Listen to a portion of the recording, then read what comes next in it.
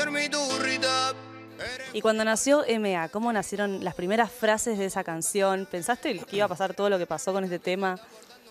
Eh, la verdad, cuando nació MA, solamente recuerdo que yo tenía escrito tipo la intro, la de se hace la difícil y yo pero sus mensajes, todo eso.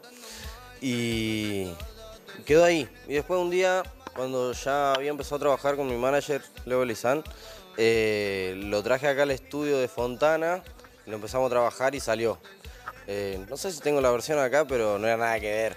Nada que ver a lo que es la canción original ahora. Si la tenés sería hermoso. Te bancamos dos. No, la no, sé tenés? si la tengo. era, ¿Qué era lo que más cambiaba del tema o si había algo que no, que no estaba? Eh, el estribillo. El te está portando mal. No estaba. No, eso no estaba. Eso nació después. Sí, eso nació después con el tiempo. ¿Cómo salió? No tengo ni idea. No me acuerdo.